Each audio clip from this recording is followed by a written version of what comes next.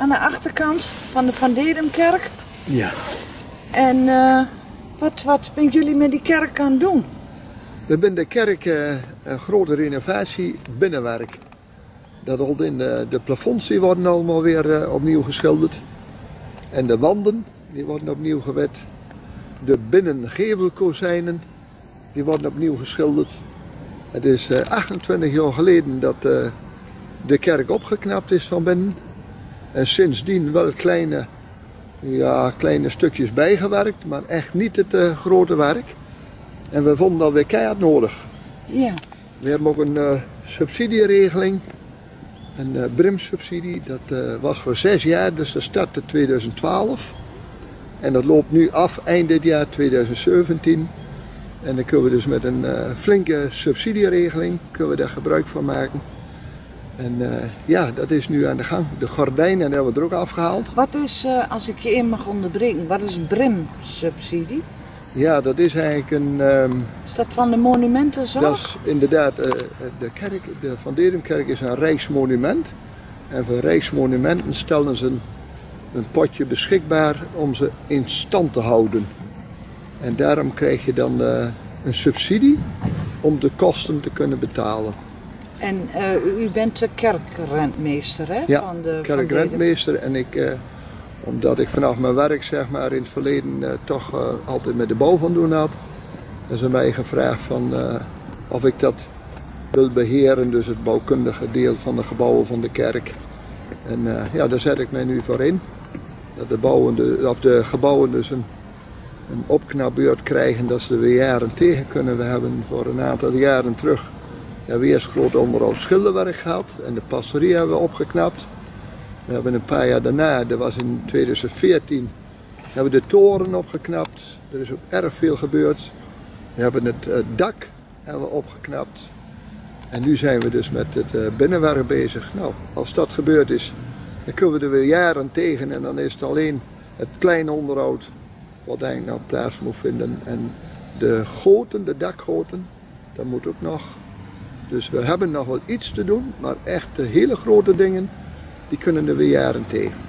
Maar eh, zullen we eens even gaan kijken hoe ver ze zijn? Ja, laten we dat maar doen. Dat lijkt me een goed idee. Nou, want het is eh, fris. Ja, ja inderdaad. Het, het schilderwerk, dat, eh, Nee, je zei van zo van verre. ja, zo van afstand, dan denk je, nou, het schilderwerk ziet er nog wel netjes uit. Er komen ook vrouwen van gemeenteleden die zeggen, Jan, was het nou werkelijk wel nodig om het nu al op te knappen? Ziet het er zo slecht uit? Dan zeg je, als je op de galerij gaat staan en je kijkt kritisch naar het schilderwerk en de wanden, dan moet het echt nodig gebeuren. Dan is er, eh, ja, het, is gewoon, eh, het verf bladdert af. De muren die eh, schilven wat. En de binnenkozijn, of de, zijn de gevelkozijnen binnenkant. Er zit zelfs een rotte plek in waar al een nieuw stuk in gezet moet worden. Dus ja, er moet, moet echt wel gebeuren. We moeten weer netjes maken. En we hebben ook de kans daarvoor. De subsidie die ligt er, dus daar mogen we gebruik van maken. En eh, dat doen we dan ook. Het is een hele klus. Het is een uh, er- heidens karwei als ik dat zo bekijk, wat allemaal ingepakt is. En, Ja. eh, Ja, het vergt heel veel, eh, heel veel werk en voorbereiding. We hebben als, eh, als vrijwilligers ook de gordijnen hebben we eraf gehaald. Nou, die waren ook heel, heel erg eh, vuil. Die zijn nu naar de stomerij, dus die komen straks weer fris ervoor te hangen. Die zijn er goed van kwaliteit, dus eh, er hoeven geen nieuwe gordijnen te komen.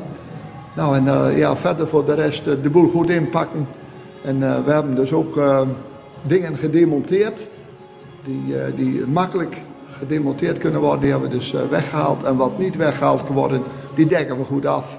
Zodat het niet beschadigt en dat er geen stof in komt. en En wanneer denk je dat, eh, dat het allemaal klaar is? we hebben een eh, termijn gesteld eh, voor de schilder. Die moet eind februari moet alles af zijn. En dan gaan we met een groep vrijwilligers alles weer schoonmaken. En dan hopen we, en dat moet ook, 1 eh, of begin april de eerste dienst weer te kunnen houden in de Van Dedemkerk. Dat het alles weer, ja, dat er weer fris en netjes uitziet. Je vertelde net bij binnenkomst, dit is een kruiskerk.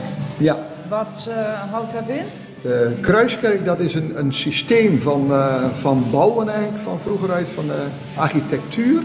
En dit is dus een kruiskerk, de eh, vier delen, vier even grote delen, als een kruis, vallen die in elkaar. En dat is een, eh, dat is een bijzondere kerk. Er zijn er niet veel van gebouwd. En ja, de monumentenwacht die is er ook erg blij mee. Die zegt dit is een prachtige kerk.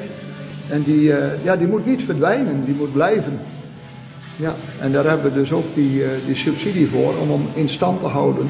Ja. En de nieuwe subsidie voor eh, 2018 tot en met 23, daar zijn we op het moment er weer mee bezig. Die wordt er weer aangevraagd door de Monumentenwacht.